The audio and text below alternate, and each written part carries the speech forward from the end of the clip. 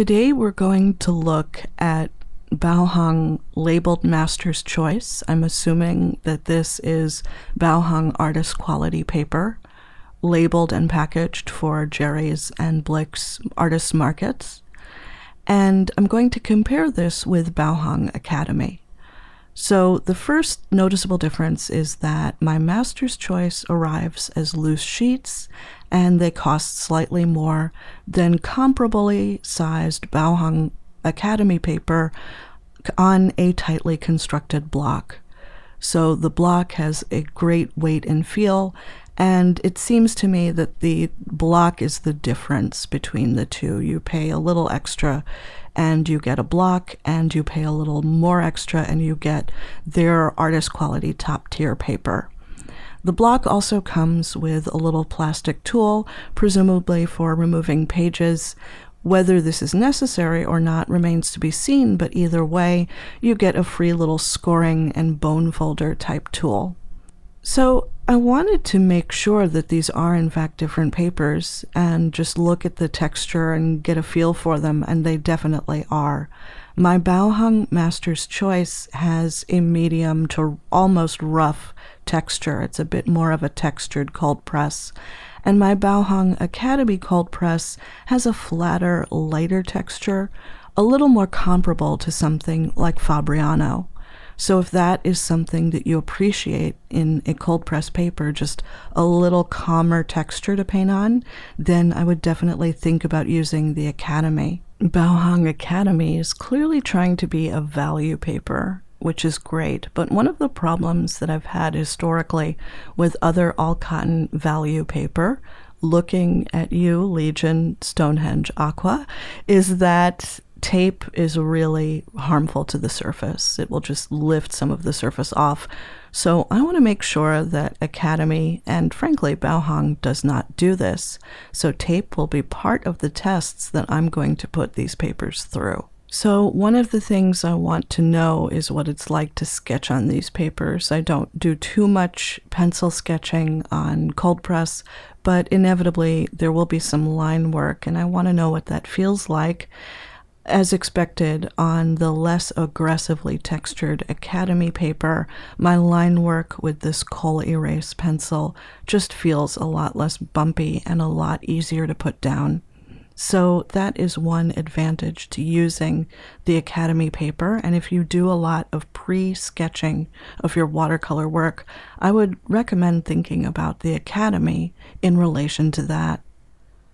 For a simple wet on dry wash, Academy feels just really good, really smooth and solid. It does not have a lot of personality that I can identify. I don't think much one way or another about it, which is exactly what I want when I put down a wet on dry type of wash. I'm able to do a little bit of bad behavior. I'm able to backtrack a bit push things together, get some blending and some, oh, on second thought kind of manipulation in. And I want to see if I get a lot of watermarks and streaking due to that. Even at this early stage, it appears that my bad behavior will not disrupt my wash too much. My master's choice behaves similarly like using Arches, I find that I need to pile the water on a bit before it starts to sink into the surface. So I think that this might be a little bit harder sized than the Academy paper. So, right off the bat, I would say that if you are a Fabriano fan, you may like the Academy.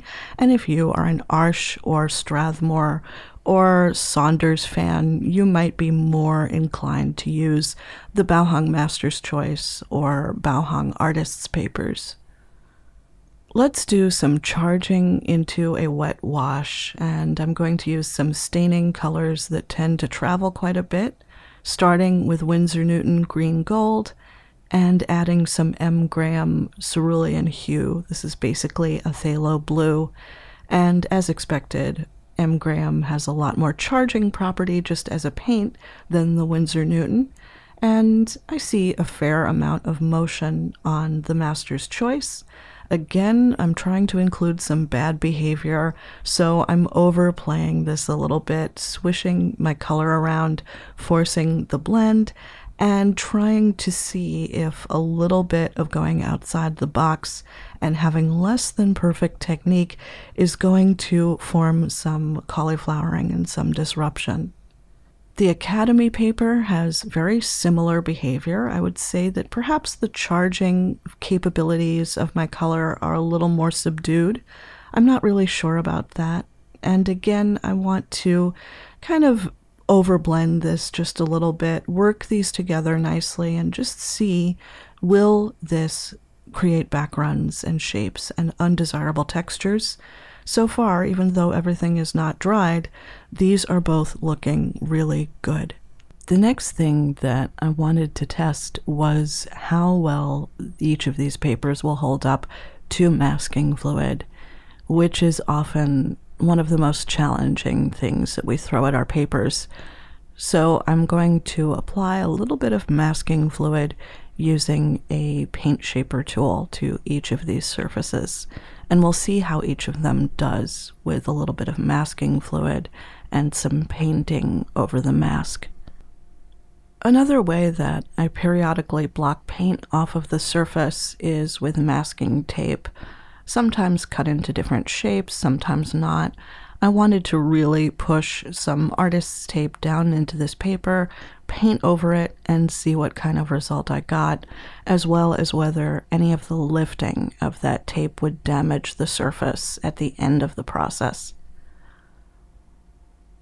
So I've put down some artist's tape, used a handle of a brush to really push some of it into the texture of the paper, and I'm painting over both of these squares of masking tape with some intense red color. If this seeps under the tape, we will know about it. I'm also going to want to test some lifting using both a staining color, so I've added Winsor Newton PY129 green gold, a nice staining azo based color to my sheet, and I'm going to paint in with something non staining looking around my palette, which is my kind of at home travel palette and not fully stocked, takes me a minute to land on something which I know will lift, and I've landed on an ultramarine pink. It's kind of a strange color. I don't use it all that often, but now that I put some of it down, I feel like I should revisit it more frequently. And this should lift if I attempt to do an intentional lift once both of these colors have dried. So as I still continue to wait for some of those swatches to go from damp to dry, I'm going to do a little bit of layering over some of the initial leaf shapes that I painted just to see how these papers layer. Do I get lifting when I add additional layers of paint? So far, looking pretty good. I'm not getting lifting or traveling. I'm getting a nice transparent layer blocked on top of the information that I've already painted. As you can see, I'm not going for anything fabulous or precise, just a little bit of added information and depth of color on top of the color that I've painted.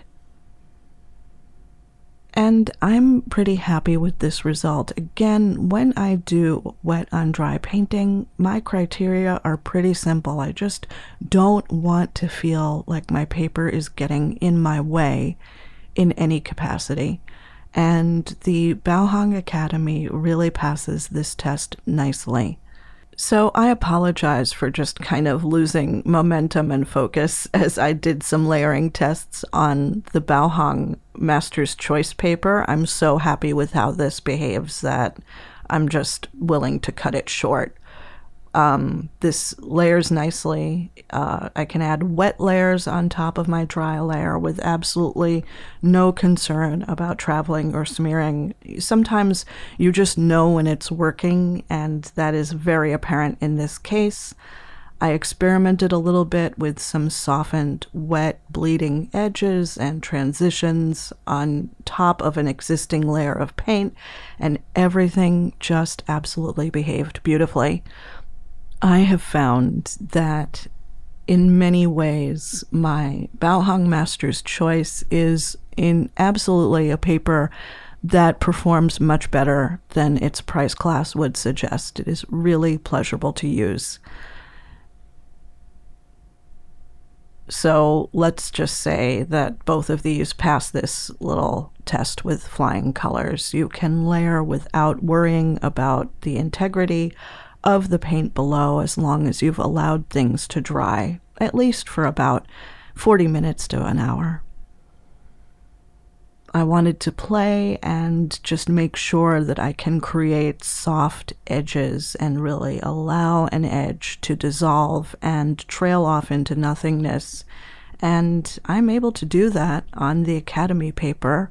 Removing my tape in both instances was a beautiful experience with absolutely no worries. So each of these papers has completely trounced the usability of unfortunately, Legion Stonehenge Aqua. I want to like that paper because I love Legion's other papers, but the Aqua does not hold up to tape, and I simply do too much taping of edges and taping as a mask to really allow that paper to be serviceable for me outside of a very narrow focus. Glazing unrelated colors on top of other colors, making a very dramatic optical color mix shift by layering blue on top of red. I get very beautiful separation. The red does not seem to bleed over much into either layer of blue. The Academy does it slightly more than the Master's Choice, but not to the point where it's a make or break thing for me. And now I finally have an opportunity to layer some staining and some non staining color over my masking fluid tests. And once again, we have to wait for those to dry. Overall, I'm really impressed with what I'm able to get from both Academy and Master's Choice.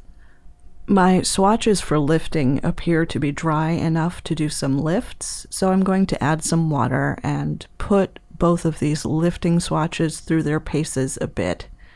I'm noticing right away that on Academy, I'm not getting a lot of shifting and changing when I add water. So this indicates to me that things are not going to lift the same way. Lifting on the master's choice, I get a slight amount of lifting on my staining color as expected, and I get a fair amount of lifting on my non-staining color. Not as dramatically as I might like, but lifting nonetheless.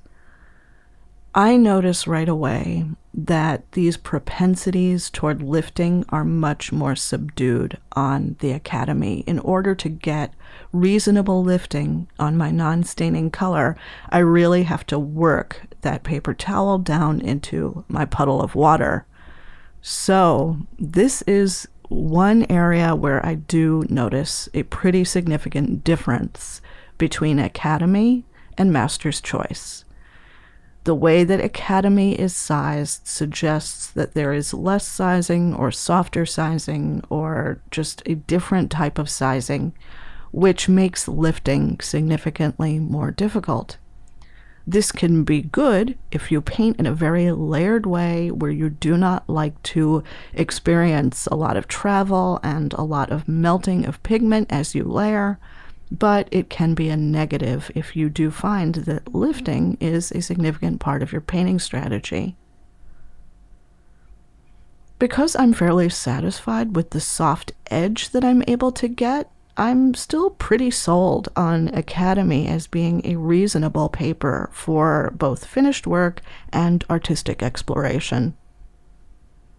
But if you really like to lift paint, then you can expect a typical Arches Fabriano, Saunders, Winsor Newton Pro type of performance from the Master's Choice labeled Baohong paper. As I wait for my masking fluid to dry off completely, I decided I wanted to noodle around a little bit and just see what happens if I introduce a lot of water and a softened edge on top of an already painted area. Now, the two colors in that blend that I have there are both staining colors, so I don't expect to see a lot of lifting, smearing, traveling, etc. And this is accurate. I'm able to paint something that has a soft edge on the master's choice just beautifully and I'm able to make some additions and soften one of the edges on top of the painting that I've done on the Academy paper just as well. So I really believe that both of these papers offer us an opportunity to layer more elaborately and with more control than student grade and cellulose papers in general. So that's really nice to know and much as expected.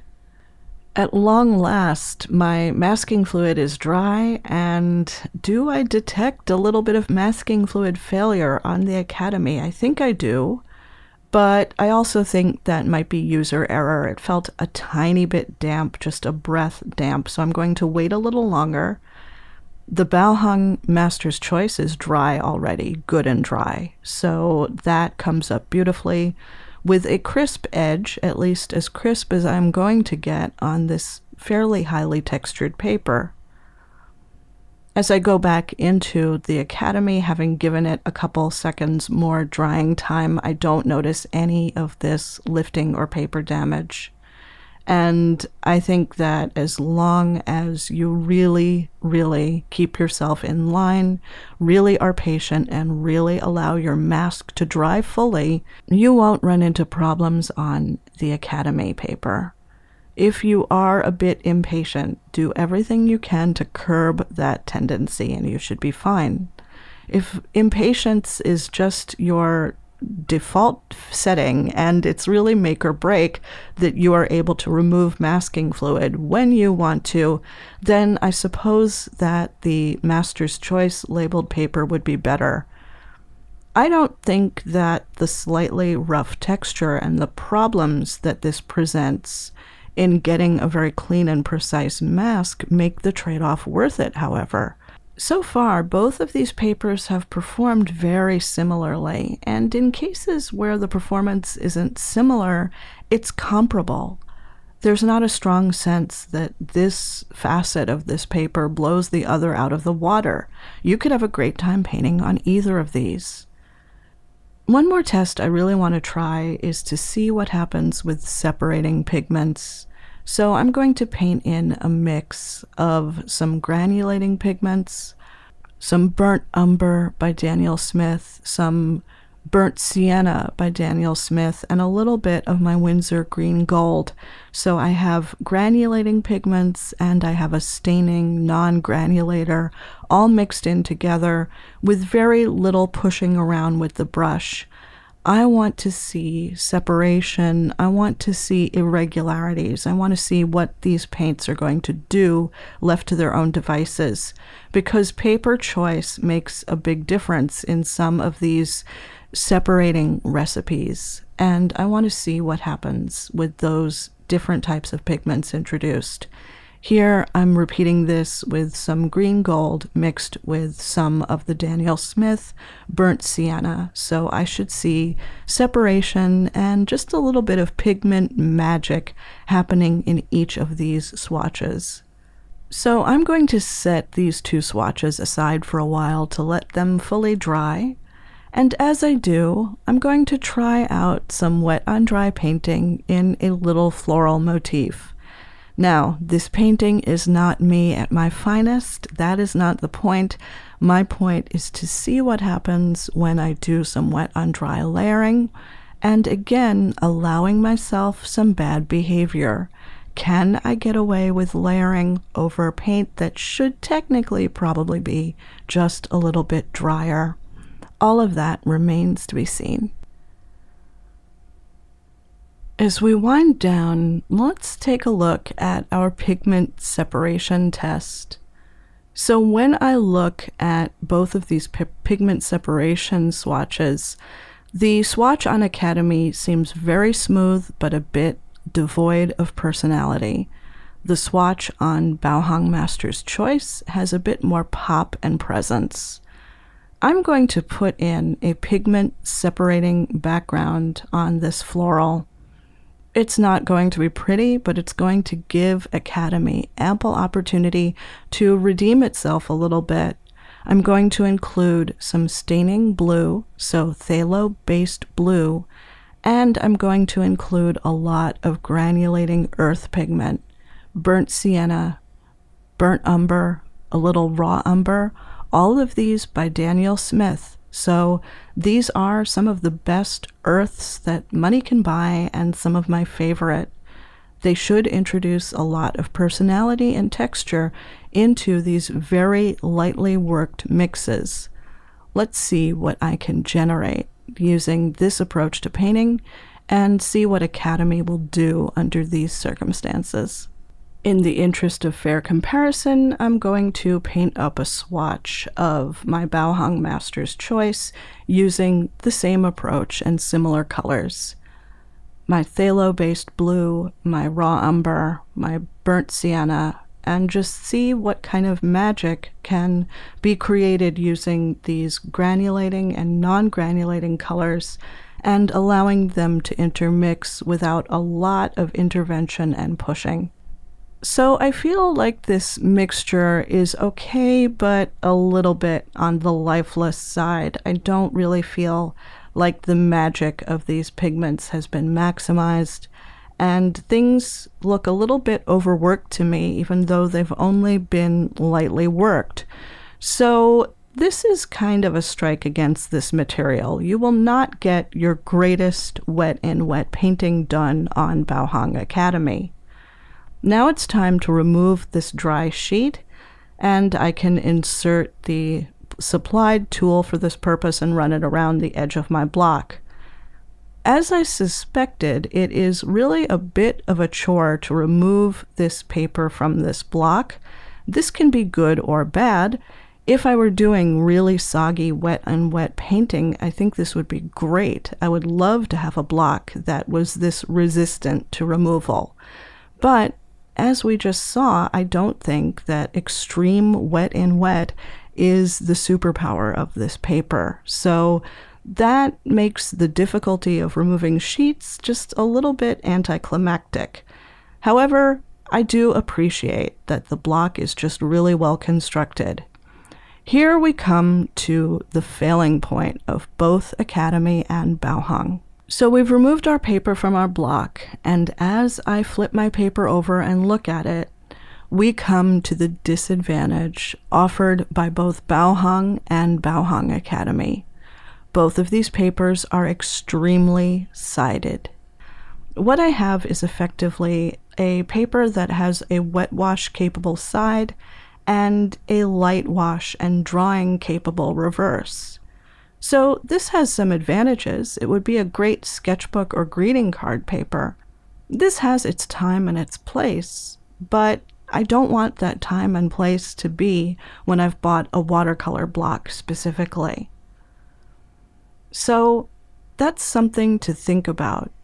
The savings that we will get when you purchase these papers can be a bit of an illusion.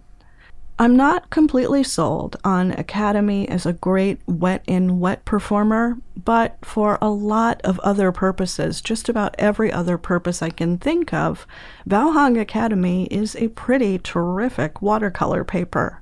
And if you like a softly textured, not too terribly bumpy cold press paper, you could certainly do a lot worse. Let's recap what we've learned about our papers. Baohong Academy is a paper that I would characterize by its flat and somewhat delicate surface nature. The sheets that I was able to purchase on Amazon were a beautifully constructed block of 10 by 14 sheets. This is approximate. The sheet size is slightly larger on each dimension. This block was priced at a little over $26 US on Amazon as of the time of this video. Pigment is slightly harder to lift on Baohong Academy and really wants to cling and stick. So if lifting is important to you, this may not be your favorite paper. However, if you paint in a very layered approach, letting your paints dry in between layers, this paper may be an excellent choice for you. Masking fluid goes down nicely, and provided we give everything all the time that it needs to dry, we can get some beautifully clean masked edges, and we won't have any problems applying this material to this paper. One of the disadvantages and reasons to avoid using this paper is that if you have a painting style that relies heavily on pigment dynamics and chemistry, if the separating and quirky characteristics of a line like Daniel Smith or Roman Szmal are incredibly appealing to you and really important to how you paint, then I believe that this will not be your favorite paper. Those characteristics are subdued on Baohong Academy almost to the point of non existence. I do a lot of wet on wet painting, but I also do a fair amount of wet on dry, and I would opt to use Baohong Academy for the wet on dry purpose. I found that wet in wet behaviors were slightly on the more lifeless side. If you are interested in botanicals and florals and slowly constructed subjects, but a perfectly smooth hot pressed paper is a little bit flat for your tastes, this might be an excellent paper for you to study on and work on as well. Let's recap some of the differences that we might notice in our Master's Choice paper. Baohong Master's Choice is marked by a somewhat rougher surface texture this is definitely rougher than Academy, but it's also rougher than a lot of average artists' papers. While not quite veering over into the territory of being a paper that I'd categorize as rough, it starts to approach that level of texture. My Master's Choice paper was sold to me in a 20 sheet packet. These sheets are also slightly larger than 10 inches by slightly larger than 14 inches. Some of these sheets are watermarked and some are not. The packet was a little over $28 US at Jerry's Artorama as of the time of this video. Overall, this paper has a slightly livelier characteristic when used for wet on wet painting than Academy, but I found that this wet in wet property was possibly slightly lacking compared to some of my other artist papers, namely Winsor Newton, Fabriano, and Arches. Overall, the paper dries a bit faster than Academy, so this is something to be aware of in your workflow. And if you use something like Arches, you are very familiar and comfortable with the timetable by which this paper will dry. Overall, wet in wet painting is more dynamic than it is on Academy. However, this is not really saying a great deal. I find the wet in wet dynamics of this paper to be acceptable, but pretty average, and nothing to get totally excited about. The rough texture provides some personality, but it also is a disadvantage with sketching and a disadvantage in gaining very precise edge work, whether you're masking, sketching, or doing something with wet on dry. The feeling I get using my Baohong Master's Choice cold press is one of a very solid and steady everyday paper. There's nothing remarkable about it, and there's nothing terrible about it. It does the job, it does it consistently, and I'm learning what to expect from this paper. Solid performance at a reasonable price. Overall, when I characterize Baohong cold press cotton papers, that is the overarching theme that I reach. These papers are a good value, although not quite the best value possible. The differences between them are more differences of personality than they are differences of quality.